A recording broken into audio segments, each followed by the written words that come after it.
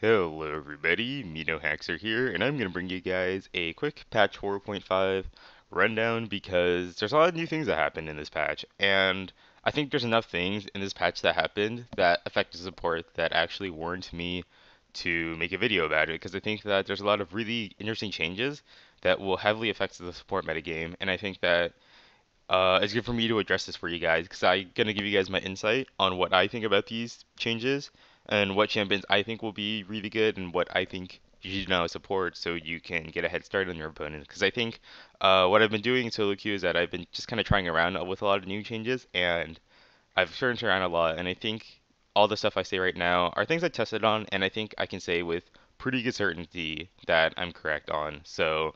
Uh, take what I say with a little bit of grain of salt, but I think what I'm gonna say to you guys about this patch is pretty spot on. So I'll go over some of the smaller changes on people, uh, and then work my way towards the more significant things like the item changes and rune changes and stuff like that. So uh, Leona got a small nerf. Like W Eclipse got nerfed a little bit. Base health regen got nerfed a little bit because she was absurdly strong. I don't think it's gonna affect anything. Leona's still gonna be played a ton. She's still a really strong pick. Lulu, this is more for Lulu mid, but it still kind of affects Lulu support with like re- nerfing Pix a little bit, which I think is fine because I don't even think Pix is that strong on support Lulu anyways, so it's okay.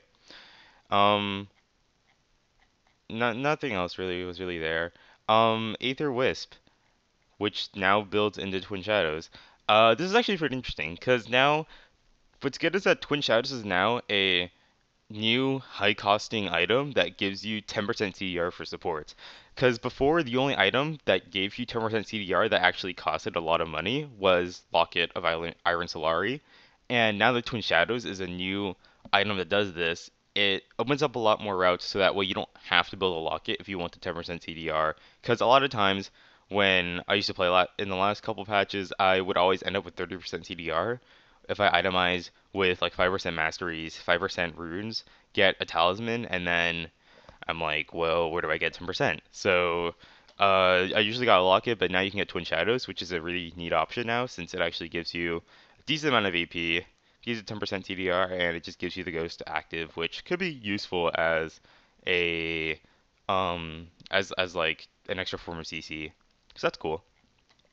Forbidden Idol is also a really, really good item. So basically, double Fairy Charm and 390 gold for for 10% CDR and some mana regen. So now this thing is the new um, least costing item to get if you want 10% CDR randomly.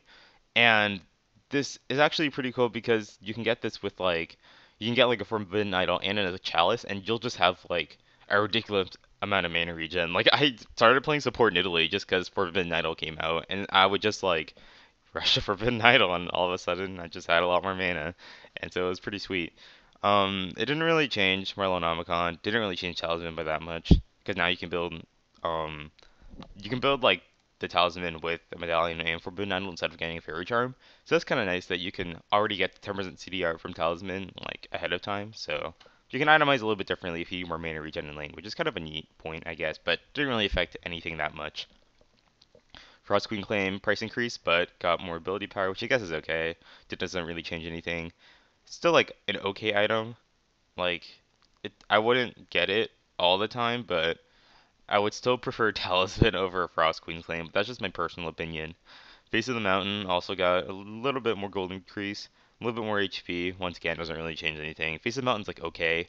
If you're already getting a relic shield, but you still want to play more of like a peel role, like if you're like Leona and you get a relic shield, but you don't really want to like go super ham with the talisman because you don't need it, then I guess Face of the Mountain's okay on that. Uh, Aegis of the Legion got slightly changed in that now you get a Negatron cloak there uh, as a component, which I guess is nice since getting four items is kind of stupid. like there's definitely no room for that. So just making a Negatron cloak is pretty good. And now it now gives a uh, plus 20 magic resistance, and they took out the plus 20 armor, which I think is a really good change because you only really get Aegis anyways to give everybody a um, aura for MR, so that's pretty nice.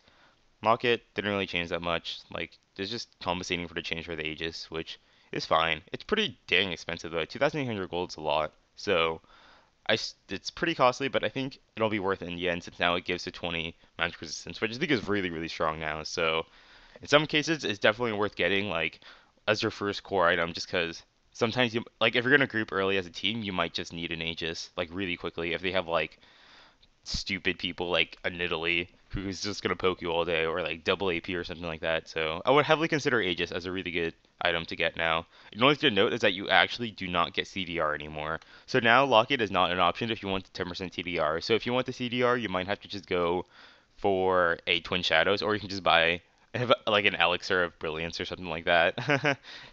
I don't really know. Mm, Glacial Shroud didn't really change that much. They took out like pretty much all the CDR actually, which is pretty significant because some supports would get Frozen Heart, like Leona, sometimes Thresh, and definitely Blitzcrank. So not having CDR anymore just kind of sucks a lot. It really only gives you armor, and so I don't know if I would buy this on like Leona or Thresh anymore.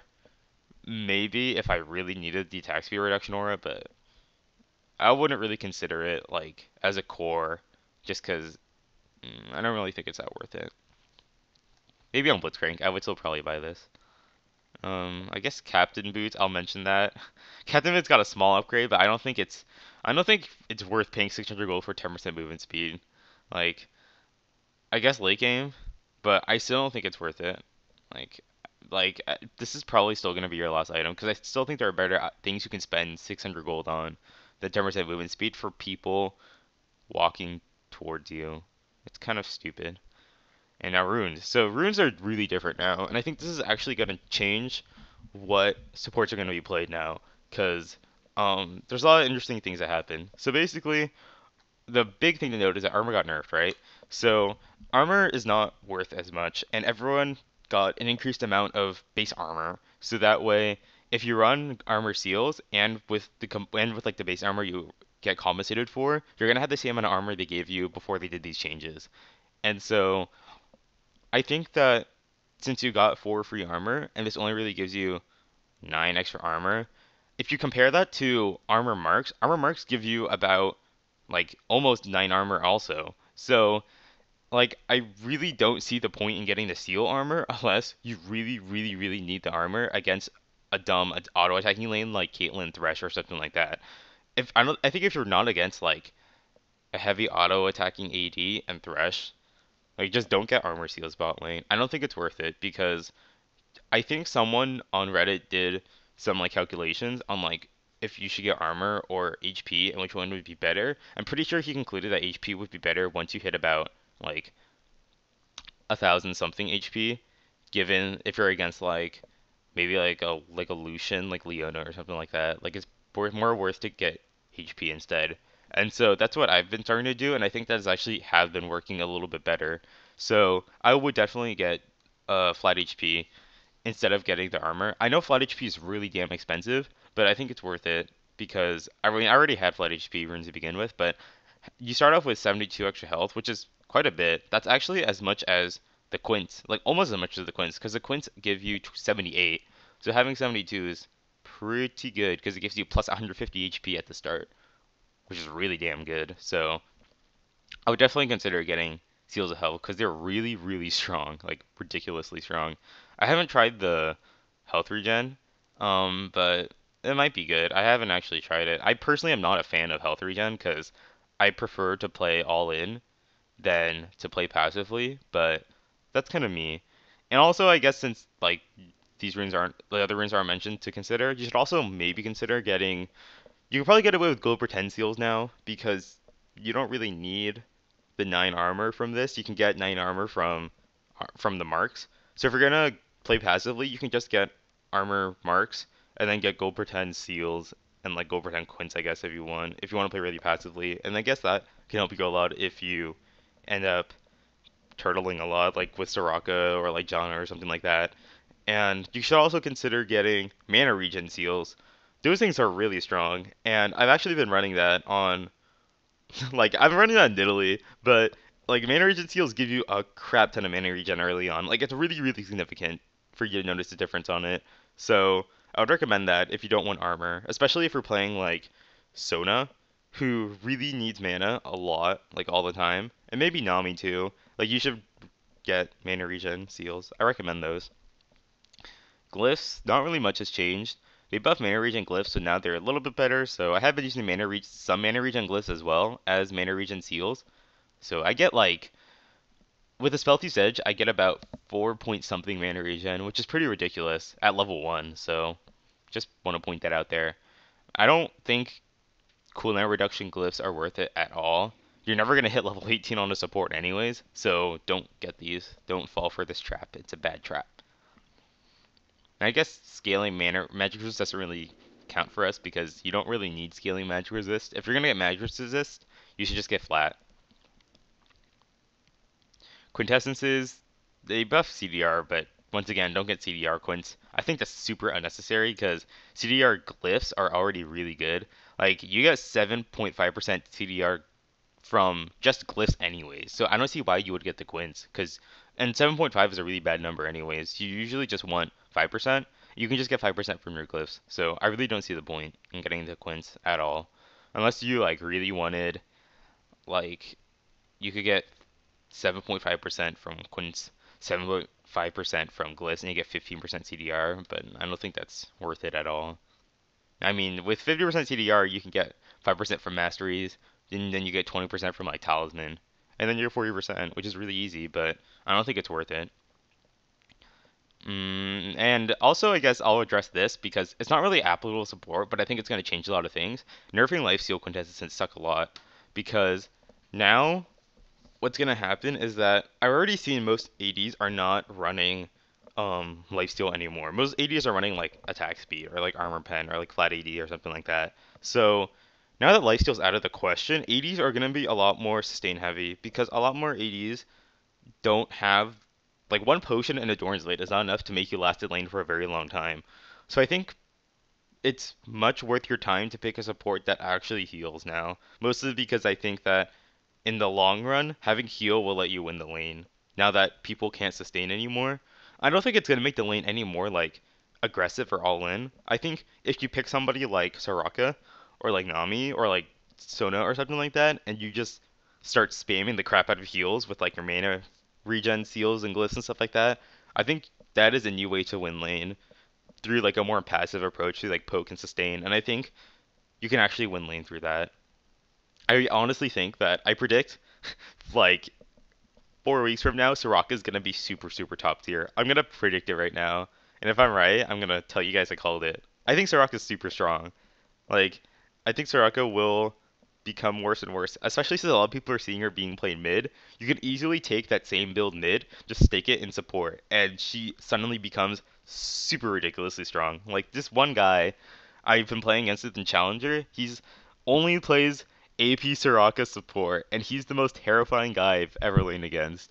And I tried out his build a lot to a Soraka, and it works very well.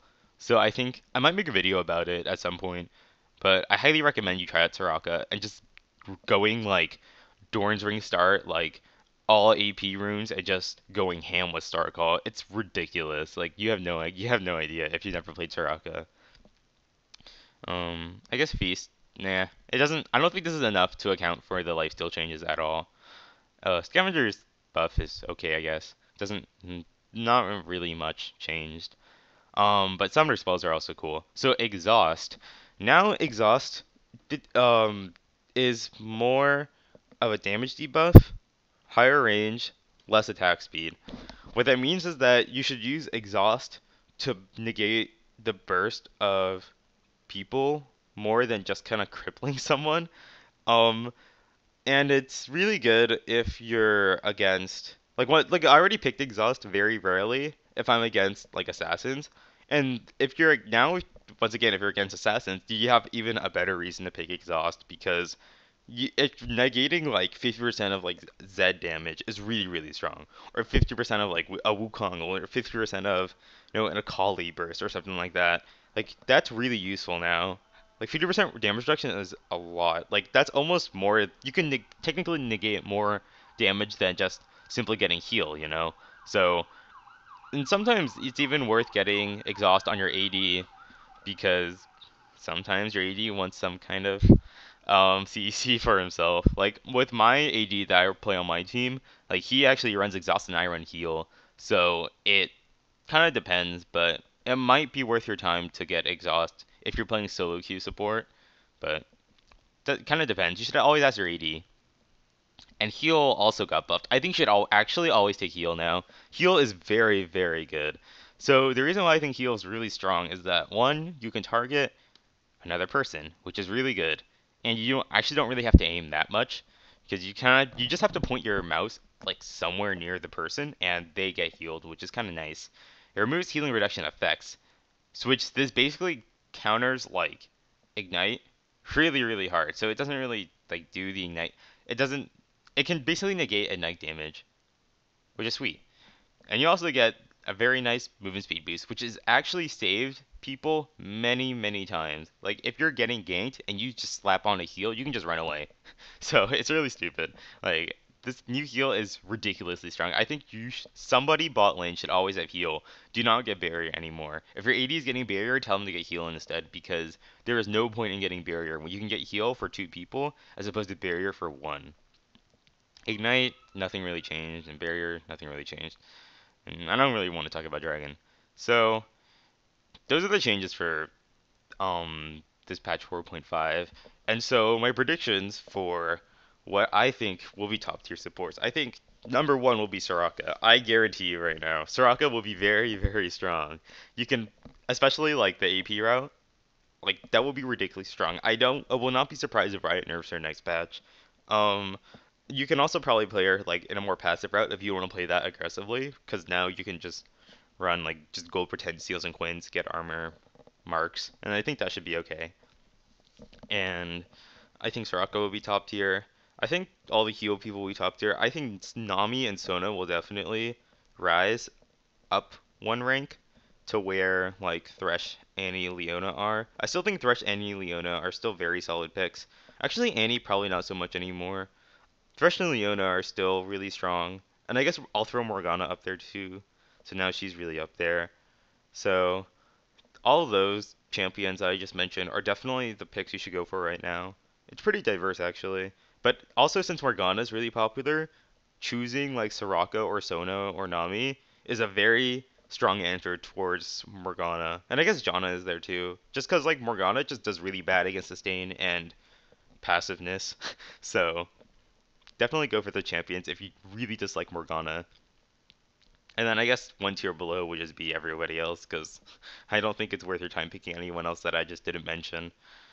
And I don't know. And I've also been playing support Nidalee a lot recently, just because I think new changes favor her a lot, and I think she's actually really good. like I hate being one of those guys that plays support Nidalee, but I think support Nidalee is really strong. So that's what I personally think. And so that's my rundown of the patch. Let me guys let me know if you want to if I didn't address something about the patch, leave a comment. If you want to voice your own opinion about stuff, leave a comment. I'll be more than happy to add my own insight to whatever I just said. So, thanks for listening, and I hope you guys like my advice. So, see you guys later.